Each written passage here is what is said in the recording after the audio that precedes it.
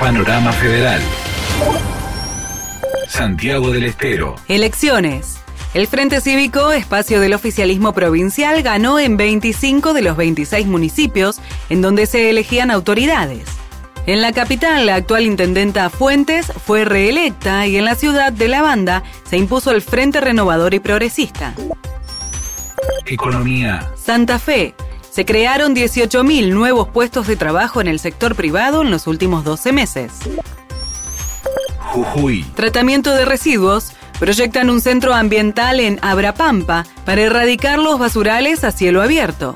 Se ocupará de la basura del sistema norte de Quebrada y Puna, que representa el 20% de la provincia. Mendoza. Sin clases.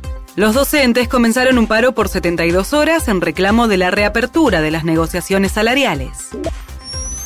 Incendios forestales. Delta del Paraná. Continúa el combate del fuego con más brigadistas y aviones hidrantes en Entre Ríos.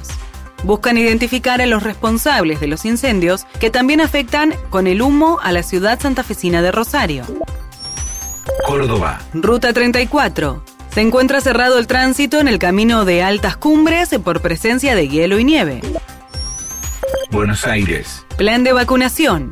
Comenzaron a enviarse los turnos para que los menores de dos años reciban la inoculación contra el coronavirus.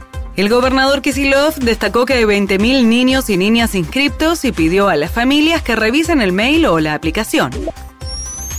Río Negro. Chimpancé en cautiverio. La científica Jane Goodall se sumó a la campaña por la liberación de Toti, que vive en una reserva provincial. Más información en telam.com.ar.